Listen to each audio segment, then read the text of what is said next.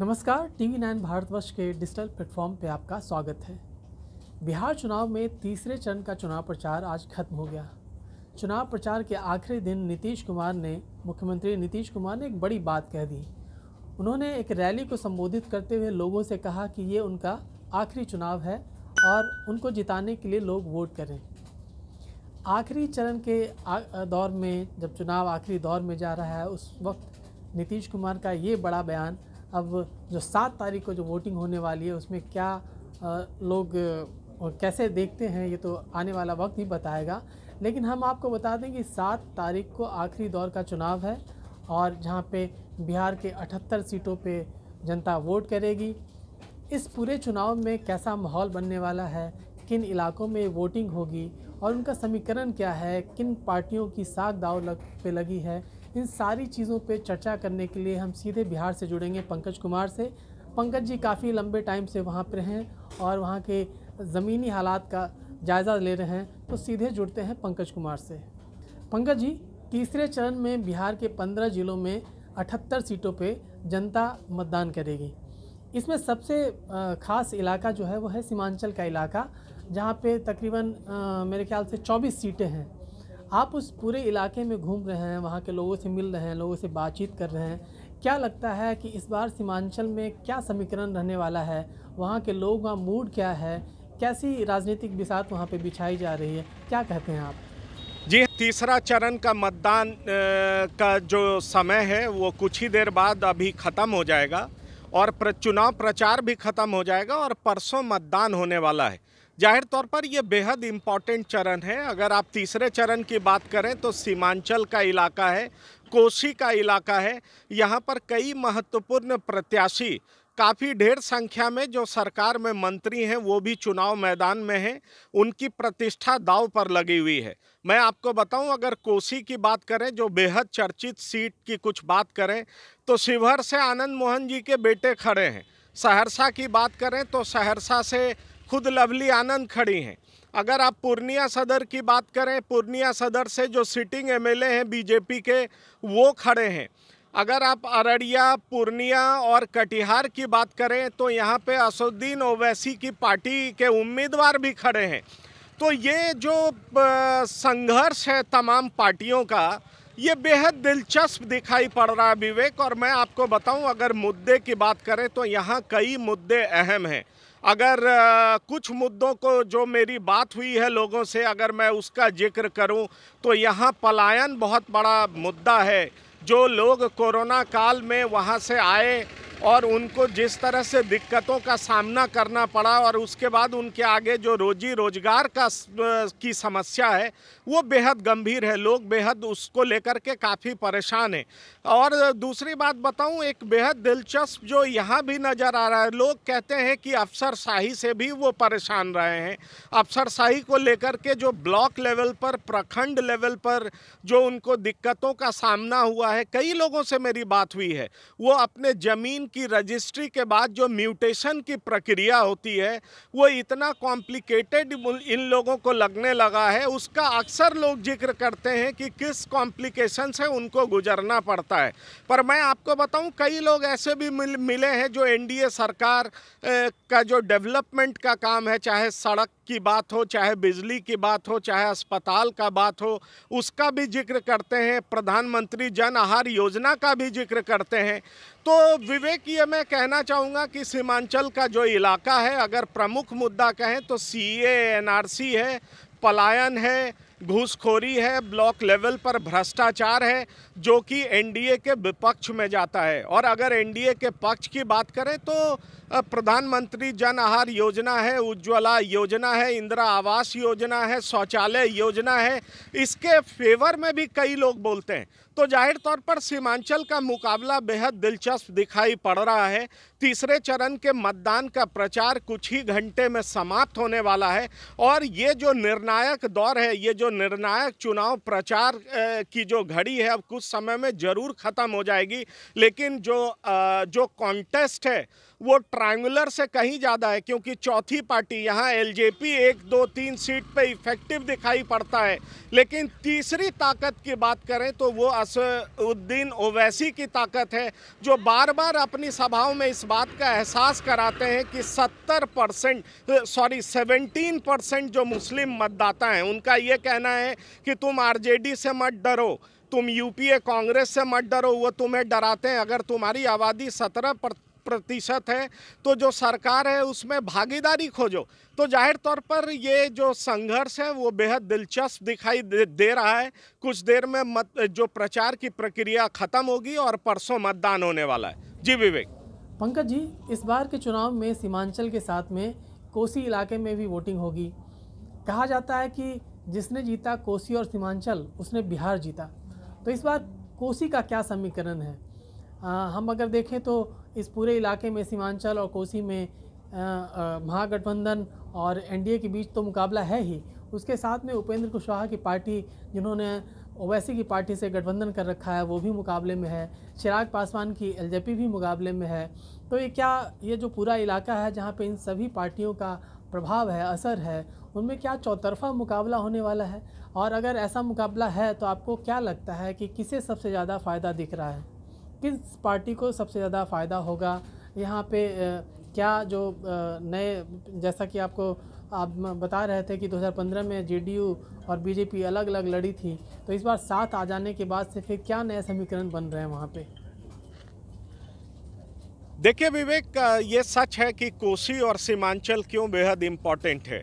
ये इस बात में कोई शक नहीं, अठहत्तर सीटों पर चुनाव होना बाकी है। महज अड़तालीस घंटे बच गए हैं। ये मैं आपको बता दूँ 48 घंटे से 50 घंटे का समय बचा हुआ है। ज़ाहिर तौर पर तीसरे चरण पर निगाहें तमाम पार्टियाँ हैं, उनकी लगी हुई हैं। अभी थोड़ी देर पहले कांग्रेस के प्रवक्ता रणदीप सुरजेवाला जी से मेरी बात हुई। वो बेहद कॉन्फिडेंट दिख रहे थे। वो बार बार इस बात पे ज़ोर डाल रहे थे कि इस बार उन्होंने एनडीए को उनके पिच पर खेलने का मौका ही नहीं दिया। उनका इशारा साफ़ था कि वो चुनाव को कम्युनल बनाना चाहते थे, लेकिन हमने उन्हें बना बनाने नहीं दिया। उसमें उन्होंने मुंगेर का भी ज़िक्र किया। तो ज़ाहिर तौर पर अगर रणदीप सुरजेवाला की बात करें, जो कांग्रेस पार्टी के प्रवक्ता हैं और महागठबंधन के इम्पोर्टेंट एलाई हैं तो उनकी बातों से ऐसा लग रहा था कि वो जिस तरह का चुनाव चाहते थे, उसी तरह का चुनाव हुआ है और उन्होंने बार बार मुंगेर की घटना का हवाला दिया, उसका ज़िक्र किया और उन्होंने कहा कि मुंगेर की घटना की वजह से बीजेपी और एनडीए बेहद डिफेंसिव दिखा और इसीलिए उस, इधर जो है उन्होंने पोलराइजेशन की कोशिश नहीं की। जहाँ तक कोसी का सवाल है तो मधेपुरा मधेपुरा ज़िले की बात करें, सहरसा ज़िले की बात करें, सुपौल ज़िले की बात करें, सुपौल से उसी इलाके से विजेंद्र यादव आते हैं, जो एनडीए में ऊर्जा मंत्री हैं। उनका क्षेत्र माना जाता है। सहरसा से खुद लवली आनंद खड़ी हैं। शिवहर से उनके बेटे खड़े हैं, चेतन आनंद। तो इस तरह के कई इम्पोर्टेंट लोग हैं। और वहाँ पर ईबीसी e मतदाताओं का परसेंटेज काफ़ी अच्छा है। ये भी माना जा रहा है कि इस बार ईबीसी e मतदाताओं का रुख क्या होगा? अब महागठबंधन दावा करने लगी है कि ईबीसी e मतदाता भी इस बार उनके साथ आ, आ गए हैं क्योंकि उन्होंने चौंतीस परसेंट उम्मीदवारों को सीट एलोकेट किया है। ज़ाहिर तौर पर जिस वजह से वो हारते थे किसी ज़माने में वो लालू जी उन्हें जिन्न कहा करते थे तो उन्हें लगने लगा है कि पंद्रह साल बाद वो जो वर्ग है वो हमारे पास आ गया है। लेकिन मैं आपको बताऊँ कि रिज़ल्ट क्या आता है, परिणाम के बाद ये साफ़ ज़ाहिर हो पाएगा। पर जहाँ तक कोसी का सवाल है, ज़ाहिर तौर पर बेहद इंपॉर्टेंट जगह है। जहाँ तक सीमांचल का सवाल है तो सीमांचल में असुद्दीन ओवैसी इंपॉर्टेंट फैक्टर हैं। एलजेपी भी है यहाँ पर, उपेंद्र कुशवाहा की भी पार्टी है, वो भी यहाँ पर खड़ी है। लेकिन अगर मुख्य तौर पर मुकाबला कहें कि ये मुकाबला चौतरफा यहाँ पर नहीं है, त्रिकोणीय ज़रूर है। एक फैक्टर असुद्दीन ओवैसी का है, दूसरा फैक्टर महागठबंधन का है और तीसरा एनडीए इन्हीं तीनों में मुख्य मुकाबला है, जहाँ पर सी एनआरसी घुसपैठ की बातें अफसरशाही ये तमाम ऐसे मुद्दे एक तरफ़ हैं जो विपक्षी लगातार उठा रहे हैं बेरोजगारी के मुद्दे भी उठा रहे हैं। वहीं एनडीए कह रहा है कि जिस तरह से उसने पंद्रह साल में डेवलपमेंट किया है स्टेट को आगे बढ़ाया है वो लगातार उनका काम जारी रहेगा। लेकिन कोसी के लिए फ्लड जो है बाढ़ है वो एक त्रासदी की तरह है। कुछ समय पहले ही लोगों ने उसका दंश झेला है। यहाँ पर भी सीमांचल की बात करें यहाँ भी फ्लड जो है वो बहुत समस्या पहुंचाता है, लोगों का फ़सल काफ़ी बर्बाद होता है। ये भी एक बहुत महत्वपूर्ण मुद्दा है। साथ ही साथ आप कहें मुस्लिम मतदाता भी यहाँ पर बड़ी संख्या में हैं तो ज़ाहिर तौर पर ये तमाम ऐसी चीज़ें हैं जो मुकाबले को बेहद दिलचस्प बना रही है। अब ये देखना होगा, जो मुसलमान मतदाताओं का एक बड़ा वर्ग, जिसको 40 से 70 फ़ीसदी कहते हैं, उनका रुझान किस तरफ़ होता है? क्या वो गोलबंद होकर के वोट करते हैं? या पिछले पिछली बार की तरह जैसे उन बहुत सारे मतदाताओं ने जेडीयू को भी वोट किया था, एनडीए को भी वोट किया था, वो डेवलपमेंट को प्रीफर करते हैं या तेजस्वी पर भरोसा दिखाते हैं, ये देखना बेहद दिलचस्प होगा। जी विवेक। पंकज जी, तीसरे चरण के चुनाव में अठहत्तर सीटें आती हैं। इन सारी सीटों पे अल्पसंख्यक समुदाय का अच्छा खासा प्रभाव है। कहा जा रहा है कि आधी से अधिक सीट आधी से अधिक सीटों पर अल्पसंख्यक समुदाय अच्छा खासा असर रखता है। अल्पसंख्यक समुदाय के वोटर्स पे कई सारी पार्टियाँ दावा जता रही हैं। इसमें महागठबंधन भी है, इसमें चिराग पासवान की पार्टी एलजेपी भी है, इसमें ओवैसी की पार्टी है जो उपेंद्र कुशवाहा के साथ में गठबंधन करके सामने आई है। तो आपको क्या लगता है कि इन सारी पार्टियों के बीच में जो अल्पसंख्यक समुदाय के वोटर्स हैं, उनका वोट बढ़ सकता है और उसका फ़ायदा एनडीए को मिल सकता है? क्या ऐसी कोई संभावना, कोई ऐसी सूरत दिख रही है वहाँ पे? विवेक, ये आपने जो पोलराइजेशन की बात की, मैं आपको ये बताना चाहूँगा कि ज़ाहिर तौर पर जिस तरह से असुद्दीन ओवैसी का इम्पैक्ट सीमांचल में दिखाई पड़ता है और जितने प्रत्याशी तकरीबन 22 प्रत्याशी उनके मैदान, चुनावी मैदान में खड़े हैं तो उनका असर यहाँ पर साफ़ दिखाई पड़ता है। और वो बार बार यही बात कह कर के लोगों से अपील कर रहे हैं कि उन्हें वोट क्यों दिया जाना चाहिए, क्योंकि वो इस बात पर ज़ोर डाल रहे हैं कि जिसकी जितनी हिस्सेदारी, उसकी उतनी भागीदारी।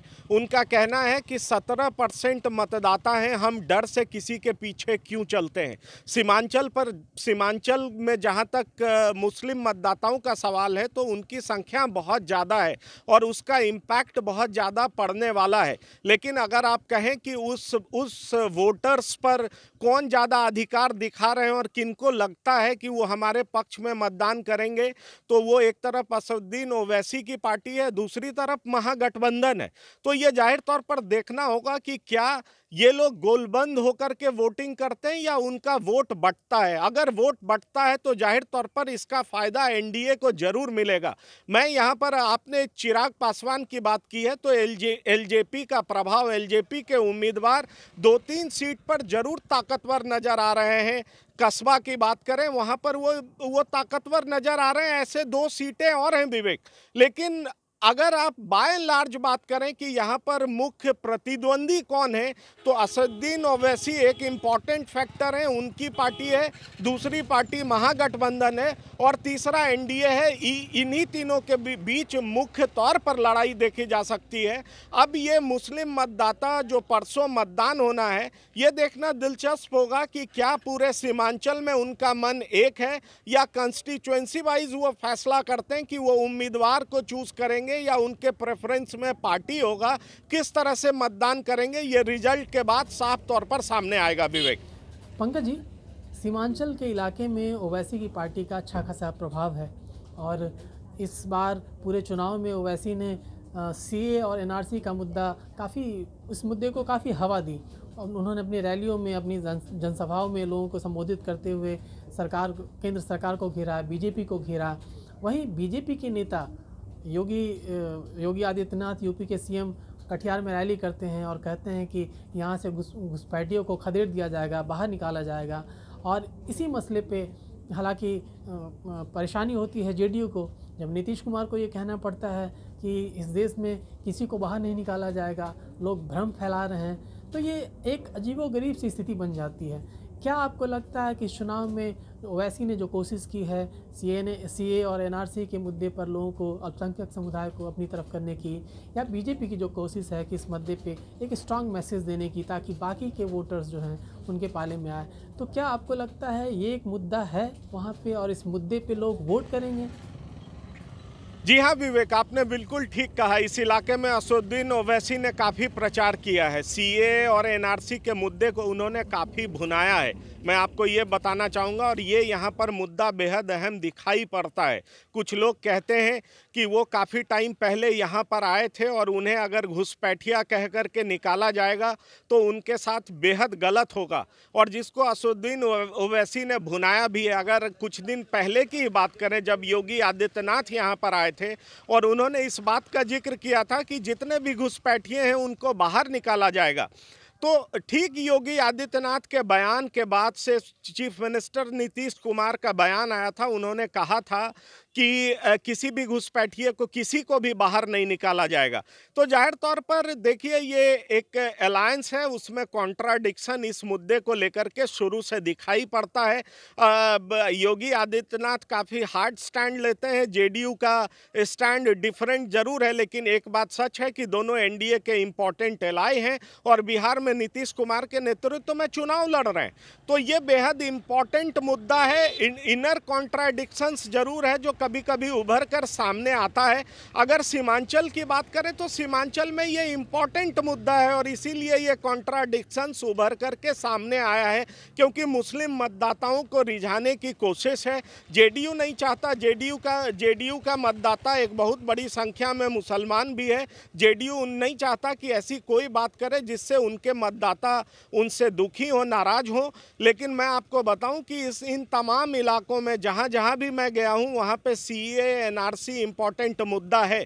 लेकिन अगर बीजेपी के के पर्सपेक्टिव से देखा जाए, उनका पॉइंट ऑफ़ व्यू देखा जाए तो इस बार बीजेपी के काफ़ी सारे, तकरीबन तेईस से ज़्यादा 25 से ज़्यादा जो है उम्मीदवार चुनावी मैदान में हैं।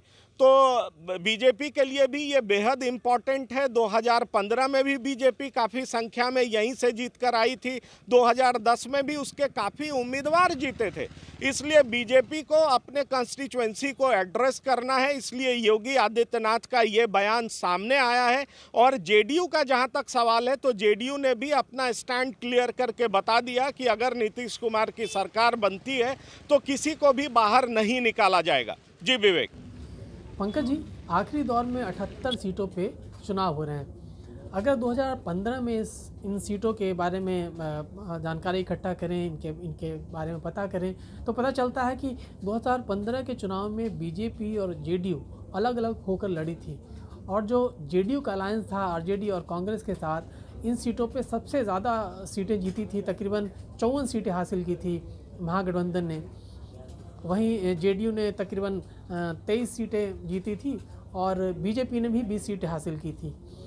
अब हालात अलग हैं। एनडीए में जेडीयू भी है, बीजेपी भी है। अब इन दोनों के साथ आने की वजह से क्या आपको लगता है, एनडीए को फ़ायदा फ़ायदा मिलेगा? तेईस सीटें जेडीयू की, बीजेपी की बीस सीटें और एक कुल मिलाकर अठहत्तर सीटों पे इन दोनों का गठबंधन। क्या आपको लगता है कि एनडीए फ़ायदे में है? एनडीए को सीटों का फ़ायदा होगा इस बार? जी हाँ आपने ठीक कहा। अगर साल 2015 के चुनाव की बात करें तो जे, जेडीयू आरजेडी और कांग्रेस एक फॉर्मिडेबल अलायंस था। अगर इसमें इस जो 78 सीटों की बात करें तो चौवन सीटें इन तीनों पार्टी को मिला था, जिसमें तेईस सीटें जेडीयू को मिला था, ज़ाहिर तौर पर। और इसमें एक बड़ा फैक्टर ईबीसी का भी था। मुसलमान के सामने, मुस्लिम मतदाताओं के सामने कोई कन्फ्यूज़न नहीं था, क्योंकि जेडीयू और आरजेडी दोनों एक साथ मिलकर के चुनाव लड़ रहे थे, जो और नीतीश, उनका चेहरा थे, नीतीश मुख्यमंत्री होंगे तो इसको लेकर के और कांग्रेस भी साथ थी।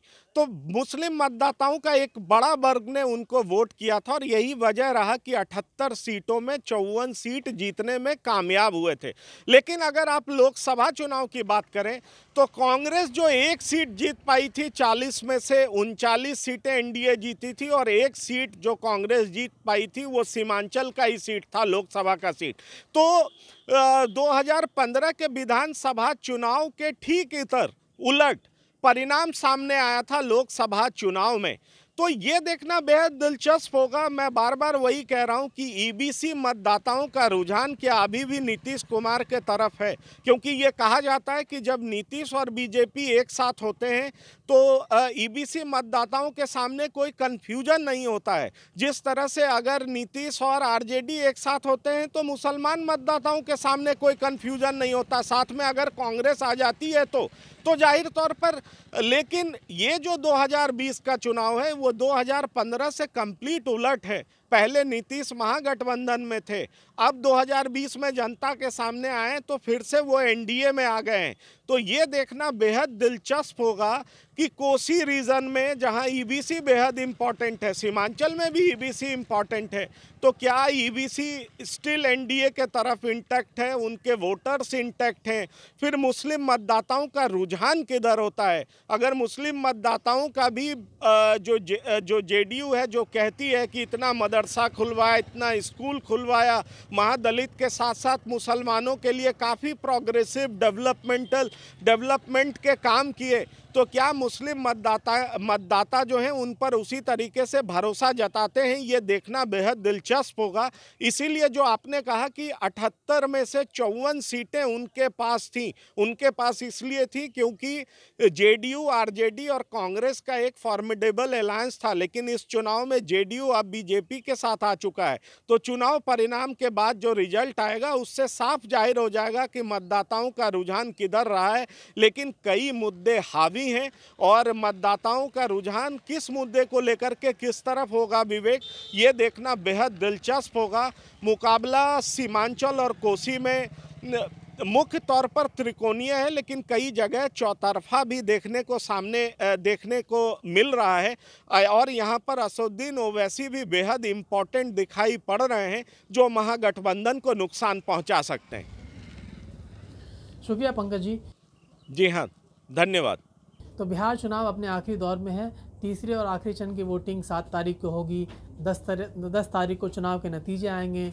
इस दौरान हम बिहार के बारे में हर राजनीतिक अपडेट लेकर हाजिर होंगे। पंकज जी हमारे साथ में होंगे। वो डिटेल से, विस्तार से वहाँ के माहौल के बारे में बताएँगे। क्या वहाँ के राजनीतिक हालात हैं, इस बारे में चर्चा करेंगे। बाकी देश और दुनिया की बाकी खबरों के लिए आप देखते रहिए टीवी नाइन भारतवर्ष। परवाह देश की। सोमवार से शुक्रवार रात 10 बजे टीवी 9 भारतवर्ष पर।